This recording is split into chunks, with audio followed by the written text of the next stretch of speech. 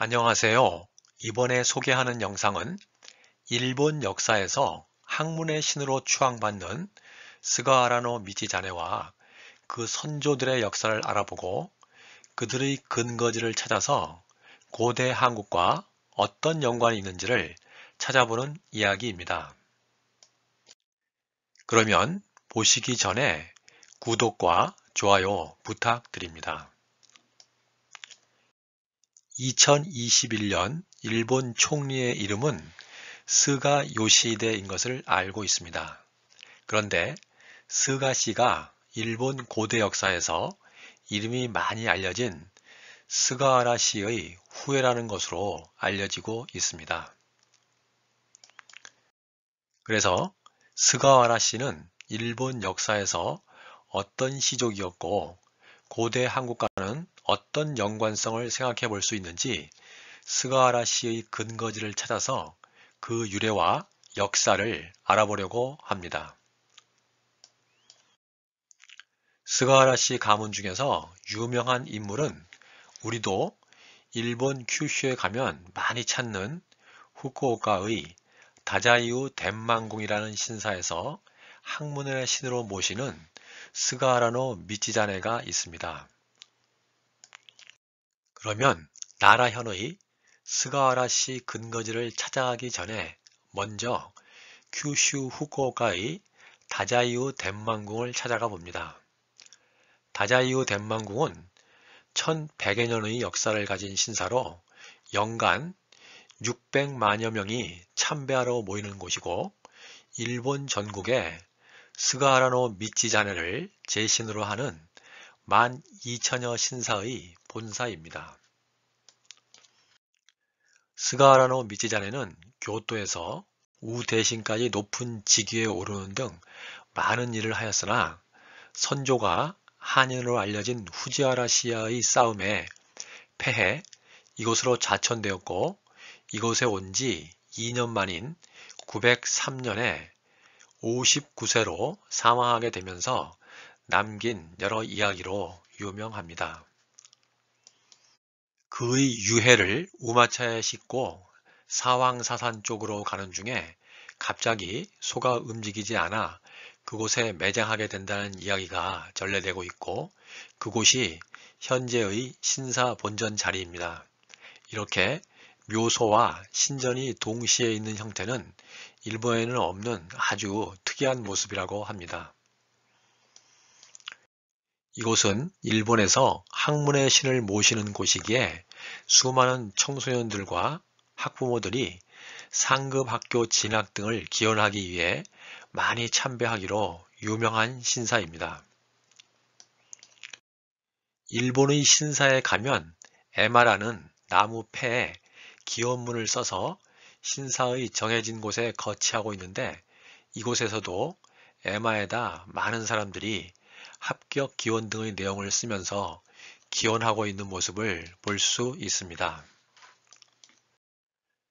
과거의 우리 역사에서 제주도, 전라남도 해안가 등의 유배지와 마찬가지로 스가하라노 미치자네의 좌천은 개인적으로는 불행한 일이었지만 다자이우 지역에서는 행운이었다고 생각이 듭니다. 이 땅은 특별한 곳이 되어서 지금까지 내려오면서 많은 사람들이 여러 가지 이유로 찾는 곳이 된 곳입니다. 덴만궁 신사에는 소 모양의 상이 많이 보이는데 신우상이라고 부르면서 머리를 쓰다듬으면 지혜가 들어온다고 하여 많은 사람들이 줄을 서서 머리를 쓰다듬고 있는 것을 볼 수 있습니다. 그러면 스가하라노 미치자네의 출생지이면서 스가하라 씨의 본거지인 나라현 스가하라라는 마을로 갑니다. 이곳에는 덴만궁 신사로서는 일본에서 가장 오래된 스가하라 덴만궁이 있습니다. 이 신사의 입구에는 스가 가문 발상의 땅, 스가공 탄생지라는 석비를 세워 놓아서 이곳이 어떤 곳인지를 알 수 있게 하고 있습니다. 그리고 이 신사에서 모시는 제신은 이 마을에서 탄생하였다고 하는 스가하라노 미치자네와 일본 씨름인 스모의 조상으로 알려지고 있는 노미노 스쿠네 그리고 일본 최고 신의 아들인 아메노 호히노 미코토인 것을 볼 수 있습니다. 이 신사의 제신에 대하여 알아보기 위해 일본 서기의 기록을 찾아봅니다. 일본 서기의 스이닝 천황 때 노미노 스쿠네는 원래 이즈모 사람인데 천황의 명에 의해 야마토로 들어와 다이마노 케하야라는 장수와 일본 최초의 스모를 하게 되었고 그의 허리를 접어버려 승리한다는 기록이 있습니다. 그리고 스이닝 천황의 황후가 사망했을 때 노미노 스쿠네는 고대부터 내려오던 장례 방법으로 산 사람을 함께 묻는 순장제 대신에 흙으로 만든 사람과 동물 등의 모형인 한이와를 넣는 것을 천황에게 진언하여 이즈모로부터 하지 백인을 불러 사람, 말 등 여러 가지 형태의 한이와를 제작하여 사람을 함께 묻는 대신에 장례에 사용하였고 천황은 이를 아주 기뻐하여 하지 무라지라는 성을 하사하였다고 합니다.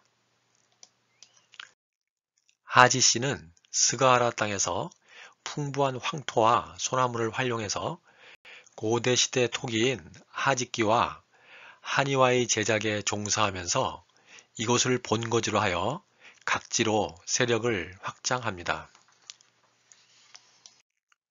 그리고 하지 씨는 하지 후로히토라는 인물이 781년에 그들이 살고 있는 지명과 연관지어 성을 스가하라로 개명합니다.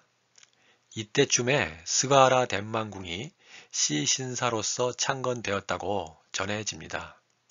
그리고 이후 3대 후에 스가하라노 미치자네가 출생합니다. 좀 더 이 마을과 관련된 역사를 추적해 보겠습니다. 저희 다른 영상에서 소개한 신라왕자 천일창의 이야기가 일본 곳곳에 남아있는 것을 알 수 있는데 이것도 관련된 흔적이 남아 있습니다.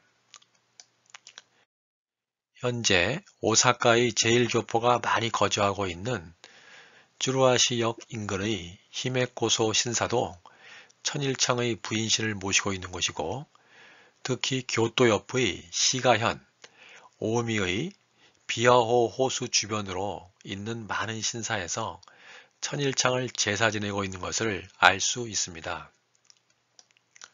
쿠사츠시의 두 개의 야스라 신사와 리토시의 고야스라 신사, 로초의 가가미 신사, 나무라 신사 등에서 그 이야기가 남아 있습니다. 한반도와 바로 맞닿아 있는 큐슈에서부터 긴기 지역까지 신라 왕자 천일창의 흔적은 지금도 생생히 남아있는 것을 알 수 있습니다. 그런데 스가하라 마을 바로 남쪽에 11대 스이닝 천왕릉이 있는데 이곳에도 천일창의 이야기가 남아있는 것을 볼 수 있습니다. 스이닝 천왕릉을 둘러싸고 있는 호에 떠있는 조그만 섬이 있는데 이곳이 신라왕자 천일창의 자손 다지마모리의 묘로 알려지고 있습니다. 일본 서기 스이닝 천왕 3년에 다지마모리는 천왕의 명을 받고 항상 황금색의 과일의 의미로 귤로 추측되는 도끼지구노 가꾸놈이라는 과일을 찾으러 멀리 갔는데 그 사이 천왕이 사망하고 그 후에 돌아와 천왕이 죽은 것을 알고 비탄에 빠져 천왕릉 옆에서 자살했다고 하는 이야기가 전하고 있습니다. 그리고 다지마모리의 묘에 대해서는 일본서기 고사기에는 기록이 없으나 석일본기 권십의 12대 게이코 천왕이 다지마모리의 충심을 애도하여 스이닝 천왕릉 가까운 곳에 장사를 지냈다는 기록이 있고 현재 스이닝 천왕릉 호 안에 조그마한 묘가 있어서 이 묘를 다지마모리의 묘로 정하고 있다고 합니다. 천왕릉과 함께 남아있는 특이한 묘입니다. 그런데 11대 스이닝 천왕은 10대 스진 천왕의 아들로 대를 이어 재임하나 스진 천왕과 천왕릉에 대한 이야기는 나라 분지 동남쪽의 야마로베노 미치에 남아있는데 아들인 스이닝 천왕의 능은 나라현에서 정반대인 서북쪽에 위치하고 있어 다소 의외의 장소에 있다는 생각이 드는 곳이기도 합니다. 그리고 특이한 것은 천일창의 7대 후손로도 알려지고 있고 일본 서기에 신라 정벌 기록으로 논란의 중심에 있는 신공황후 고분이 이 근처에 있습니다.